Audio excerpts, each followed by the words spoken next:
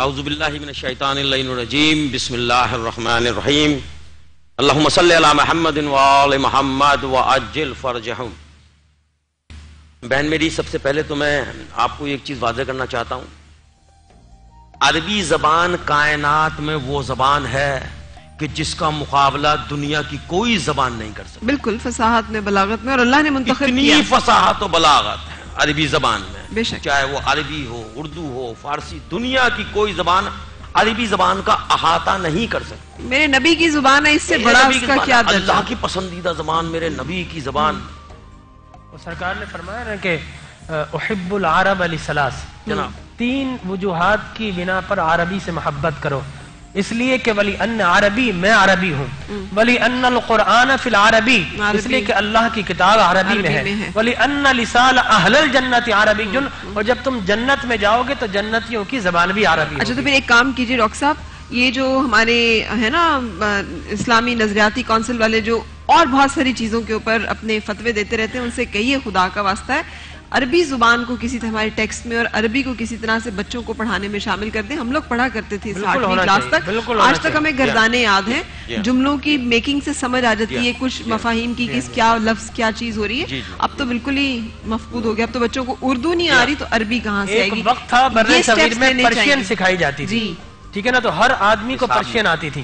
صحیح۔ لیکن اب میں یہ سمجھتا ہوں کہ اگر پاکستان ماری سے وجود میں آیا تھا اگر اس کی ہم نے ایک بنیادی زبان عربی کر دیتے نہیں کرتے ہندی نہیں کا اور سندھی کا اور بھلے اس کا جھگڑا ہے بھلے یہ سب اردو ختم ہو۔ جاتا لیکن اسلامی نظریاتی کونسل یہ ہیں وہ نظریاتی اساسی کام کرنے والے جو کیے جانے ہیں کہ بجائے اس کے کہ عورتوں کو ماریں کہ نہ۔ ماریں بی بی کی اجازت ضروری ہے کہ نہیں ضروری ہے یہ ثانوی اہمیت کے حامل موضوعات ہیں یہ زیادہ اساس بنیاد ہے یہی چیز ہے دیکھیں اگر میڈیا سے یہ آواز اٹھے گی اور میڈیا کے توسط سے اور دوسرے حلقوں سے یہ آواز اٹھے گی کہ شاید شاید ان کی توجہ جو ہے اس طرف جائے۔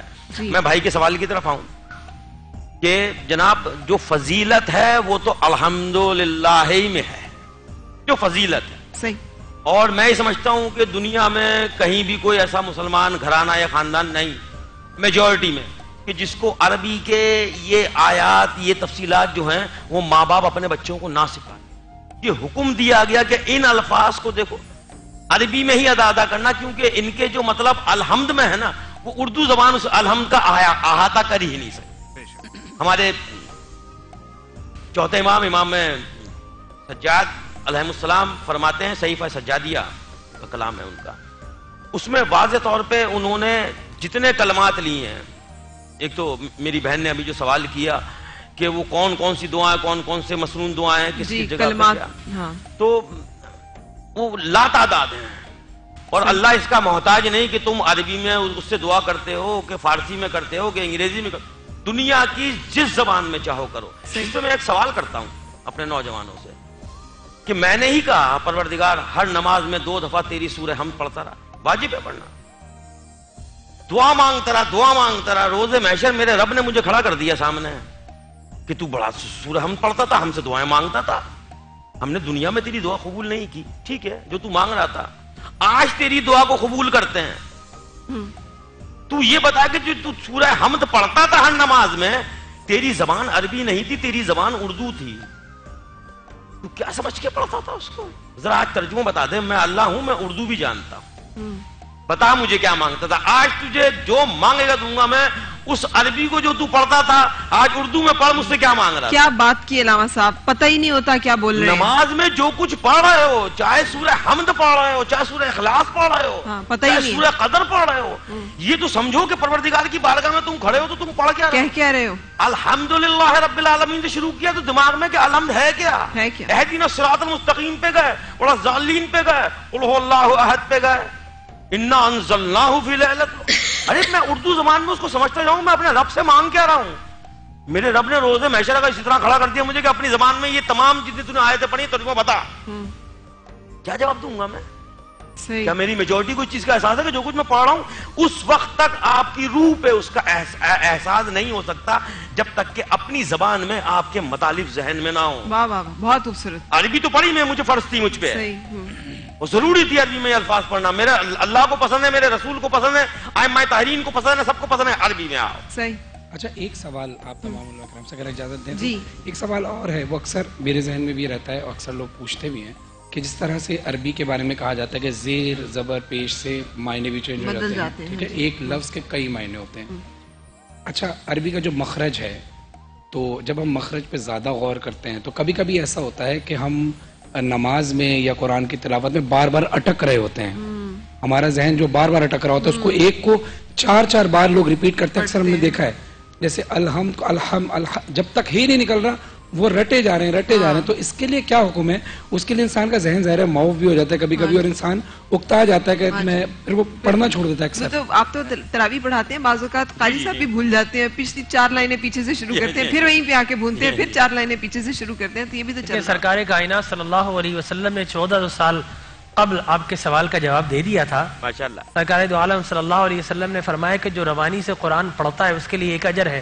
لیکن جو اٹک اٹک کر پڑھتا ہے اور کوشش کرتا ہے کہ قرآن کو صحیح پڑھوں سرکار نے فرمایا اس کے لیے دو اجر ہے اچھا یہ ریحان بھائی نے۔ سوال کیا تھا۔ الفاظ میں کبھی کبھی ہم اٹک جاتے ہیں۔ دیکھیں ابھی سپوز دیٹ کبھی کبھی لوگوں کے ساتھ ایسا ہوتا ہے کہ ہاتھ دھو رہے ہیں یا ہاتھ پاک کر رہے ہیں۔ تو وہ ہاتھ پاک کیے جا رہے ہیں کیے جا رہے ہیں کیے جا رہے ہیں مطلب وہ ایک وہم ہوتا ہے۔ اس وہم کا کیا علاج ہے؟ یا اس کے لیے حکم ہے؟ میں نے کسی سے سنا تھا۔ یہ کسی بھی وضو تک میں اثراف نہیں ہے۔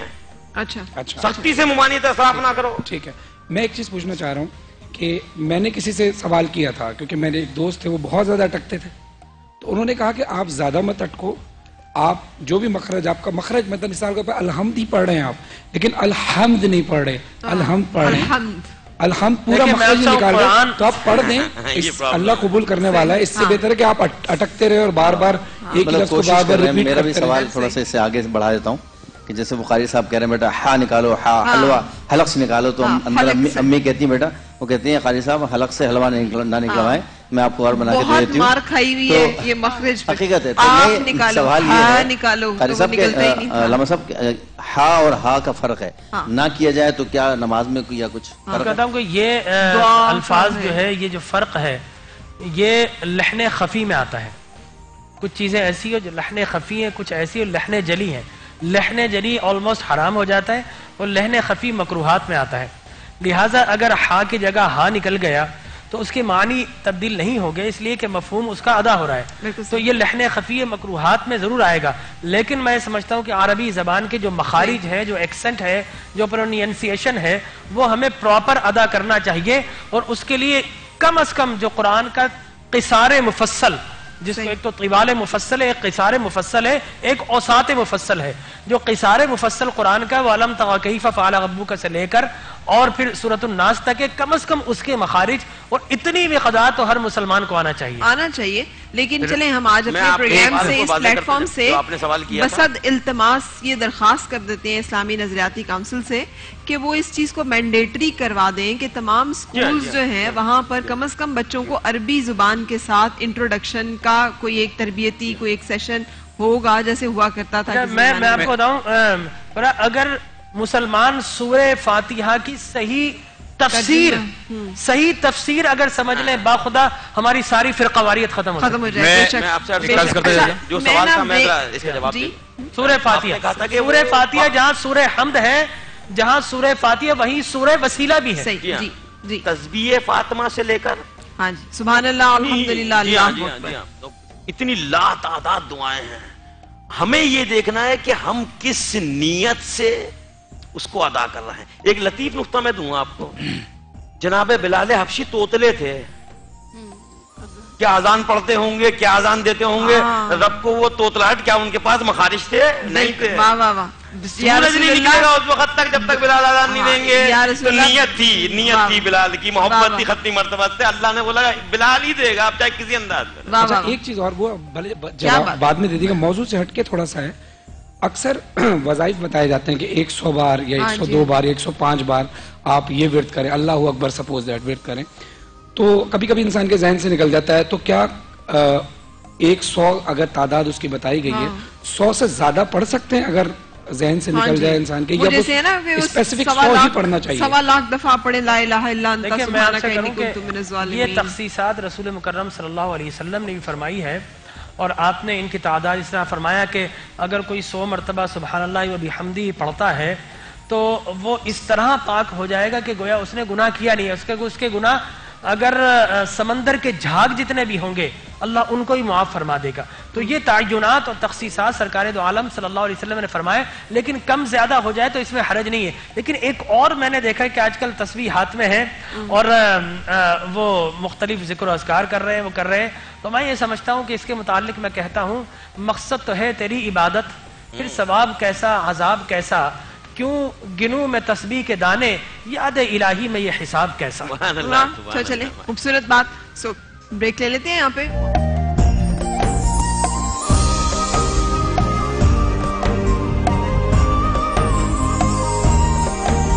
میں بیٹھ جا ویسیوں میں بیٹھ جا۔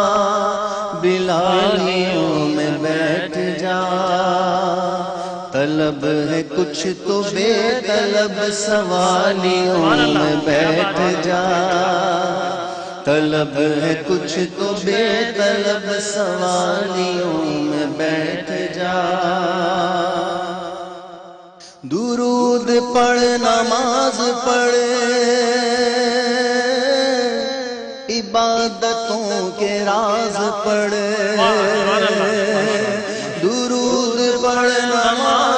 پڑھ، عبادتوں کے راز پڑھ۔ صفیں تو سب بچھی ہے عشق والیوں میں بیٹھ جا۔ صفیں تو سب بچھی ہے عشق والیوں میں بیٹھ جا۔ طلب ہے کچھ تو بے طلب سوالیوں میں بیٹھ جا۔ یہ معرفت کے راستے ہیں اہل دل کے واسطے۔ یہ معرفت کے راستے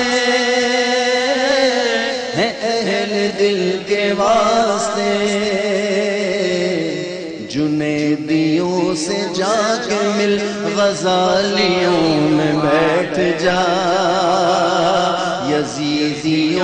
چھوڑ کر حسینیوں میں بیٹھ جا۔ یزیدیوں کو چھوڑ کر حسینیوں میں بیٹھ جا۔ طلب ہے کچھ تو بے طلب سوالیوں میں بیٹھ جا۔ بڑا خوبصورت خیال۔ ہر ایک سانس پر جو ان کو دیکھنے کی ہے طلب۔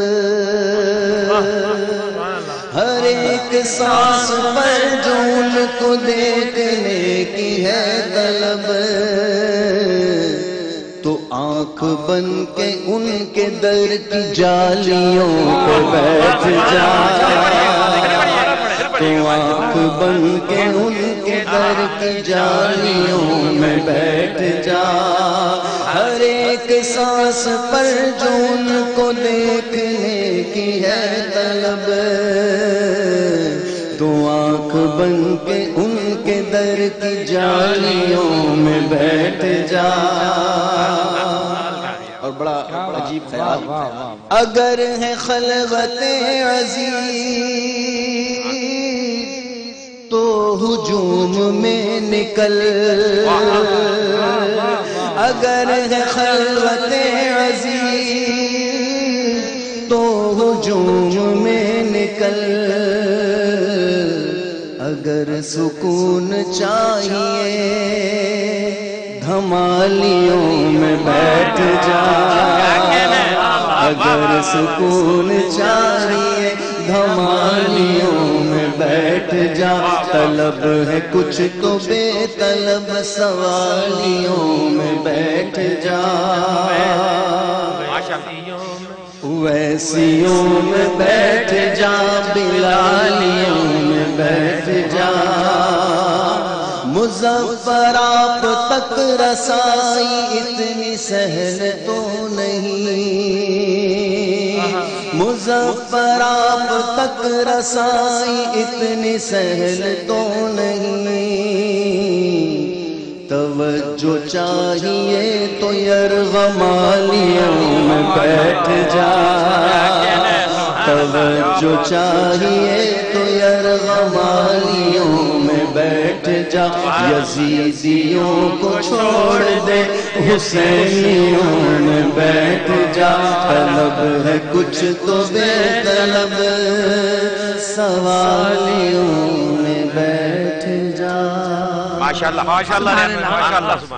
بہت خوب ذکر الہی کی جب محفل ہوتی ہے تو فرشتے اسے اپنے پروں سے ڈھانپ لیتے ہیں اور اللہ کی طرف سے رحمت کا نزول ہوتا ہے سکینہ کا نزول ہوتا ہے اور اللہ کا ذکر جس مجلس میں ہو اس کا اس مجلس کا ذکر اچ پر کیا جاتا ہے۔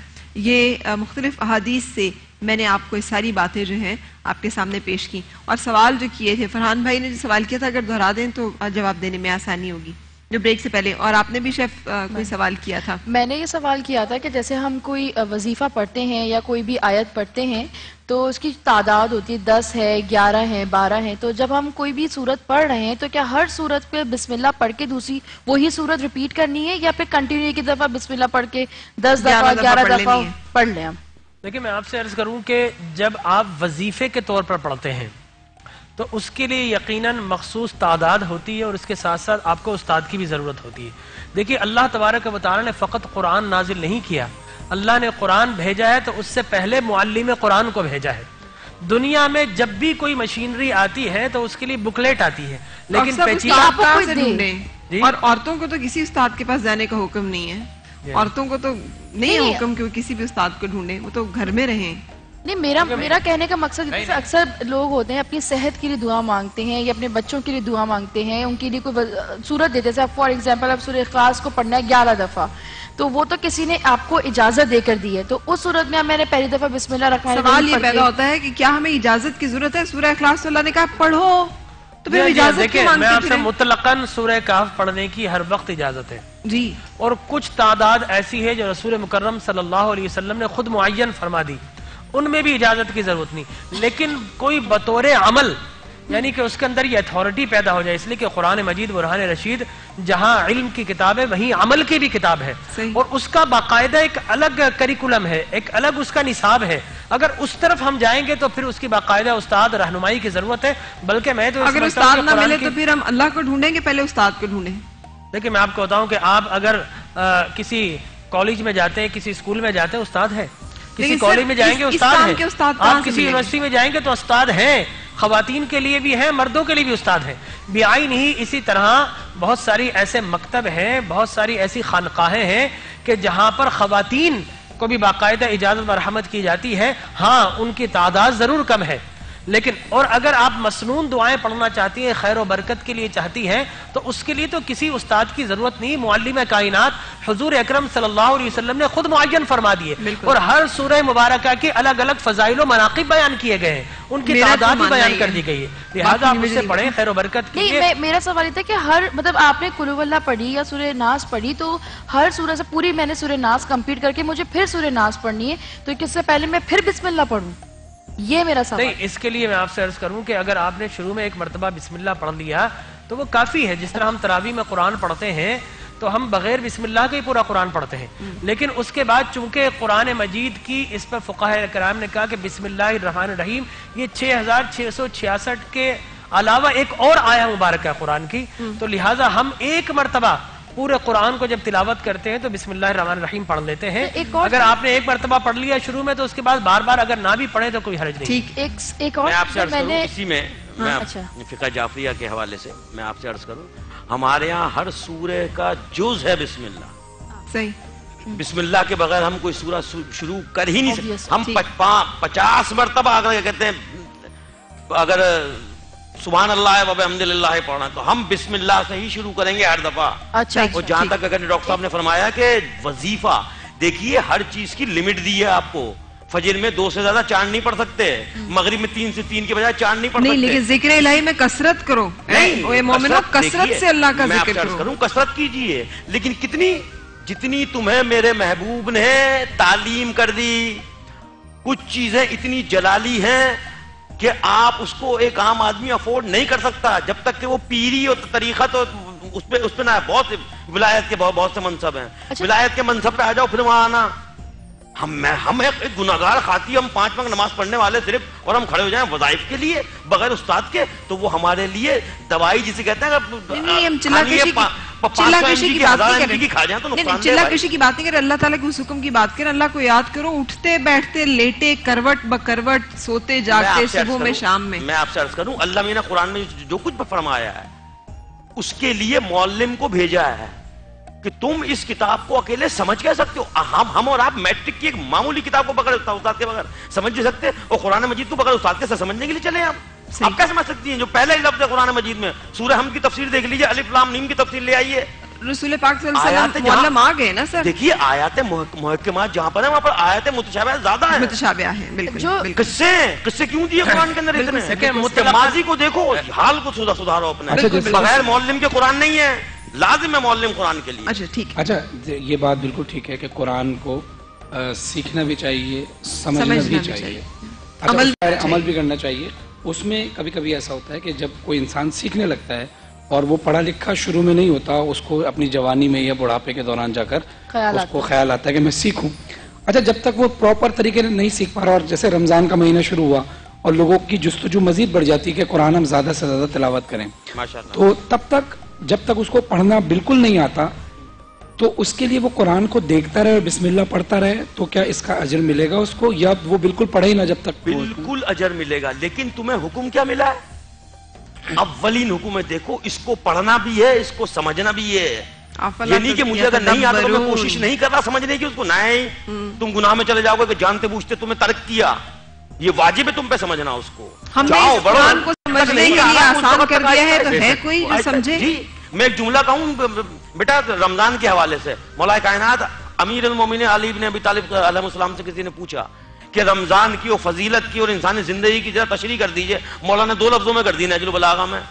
کہ اپنی زندگی کو رمضان جیسا بنا لو تمہاری موت عید جیسی ہوگی۔ اچھا بہت خوبصورت۔ اچھا لیکن میں آپ سے بتاؤں شاید ہم تھوڑا سا غلط ڈائریکشن میں چلے گئے۔ بہت غلط۔ ٹھیک ہے نا؟ ایک تو مطلقاً ذکر ہے۔ ٹھیک ہے نا؟ اس کے لیے عوام الناس میں سے کوئی بھی اللہ کا ذکر کر سکتا ہے۔ اٹھتے بیٹھتے۔ سوتے جاگتے چلتے پھرتے کھاتے پیتے۔ آپ اللہ کا ذکر کیجیے۔ لیکن ایک جو خواص خاص انداز میں آپ اس کو بطور وظیفہ یا بطور عمل کرنا چاہتے ہیں آپ چلہ تو کشی کی یقیناً بات جی کر ہاں رہے ہیں۔ چلہ کشی کے لیے اس کے لیے استاد کر کی ضرورت ہے مطلقاً ذکر تو افضل الذکر لا الہ الا اللہ۔ اور بتایا گیا کہ فذکرونی اذکرکم۔ دیکھیے بنی اسرائیل سے کہا گیا یا بنی اسرائیل اذکروا نعمتی التی انعمت علیکم۔ اے بنی اسرائیل میری نعمتوں کا ذکر کرو تو نعمتوں کا اضافہ کر دوں گا۔ لیکن غلامان مصطفیٰ سے کہا کہ تمہارا مقام بلند ہے تم نعمتوں کا ذکر نہیں کرو گے نعمت دینے والے خدا کا ذکر کرو۔ بدلے میں کیا ملے گا؟ خدا تمہارا ذکر کرے گا حضرت حضرت میں ایک بات کمپلیٹ کر لوں۔ جی جی جی۔ تو ہم جب اللہ کا ذکر کرتے ہیں جواب کیا آتا ہے؟ فض قرونی تم خدا کا ذکر کرو گے خدا تمہارا ذکر کرے گا۔ بابا فرید گنج شکر رحمۃ اللہ تعالی علی سے جب انہوں نے بتایا کہ میں اللہ کا ذکر کر رہا ہوں کسی نے پوچھا یہ بتائیے اللہ اس وقت کیا کر رہا ہے؟ آپ نے فرمایا اللہ اس وقت فرید فرید کہہ رہا ہے۔ میرا ذکر واہ ٹھیک ہے تو جب میں رب کا ذکر کر رہا ہوں تو رب میرا ذکر کر رہا ہے اللہ نے غلامان مصطفیٰ کو امام بخاری۔ کی حدیث مبارکہ بھی ہے نا کہ اللہ جسے محبت کا ارادہ کرتا ہے اور وہی ہے جو اس کا ذکر کرتے ہیں۔ تو جبرائیل علیہ السلام کو بلاتا ہے فرماتا ہے مجھے اس سے محبت ہوگی ہے تو بھی محبت کر۔ اور پھر اسی طرح سے تمام اہل عرش اس سے محبت کرتے ہیں اور پھر محبت اللہ کے نیک بندوں کے دل میں ڈال دی جاتی ہے۔ اس طرح سے وہ شخص مقبول خلائق ہو جاتا ہے تمام حضرت نے۔ ماشاءاللہ جو حضرت نے ارشاد فرمایا نا کہ مطلق ذکر وہ جتنا کثرت سے کرنا چاہیں کریں ہر وقت کا حکم ہے یہ اتنا حکم ہے کہ اللہ رب العزت قرآن کریم میں ارشاد فرما رہا ہے یا ایھا الذین آمنوا اذا لقیتم فئتا فاثبتوا واذکروا اللہ کثیرا لعلکم تفلحون جب تمہارے سامنے کفار کی جماعت آ جائے یعنی جنگ کے موقع پر کہا جا رہا ہے، کفار کی جماعت آ جائے تو اس وقت آدمی تدبیریں کرنے میں لگ جاتا ہے۔ یہاں اللہ رب العزت فرما رہا ہے کہ تم ڈٹ جاؤ اور اللہ رب العزت کا ذکر کرو، لعلکم تفلحون، تاکہ تم فلاح پا جاؤ۔ اچھا ذکر کو اللہ رب العزت نے قرآن قرآن کو بھی ذکر کہا جاتا ہے، انا نحن نزلنا الذکر وانا له لحافظون ہم نے اس ذکر کو نازل کیا اور ہم اس کی حفاظت کرنے والے ہیں۔ تو اللہ رب العزت قرآن کریم میں یہ بھی ارشاد فرما رہا ہے کہ جب وَإِذَا قُرِئَ الْقُرْآنُ فَاسْتَمِعُوا لَهُ وَأَنصِتُوا لَعَلَّكُمْ تُرْحَمُونَ۔ یعنی یہاں قرآن پڑھا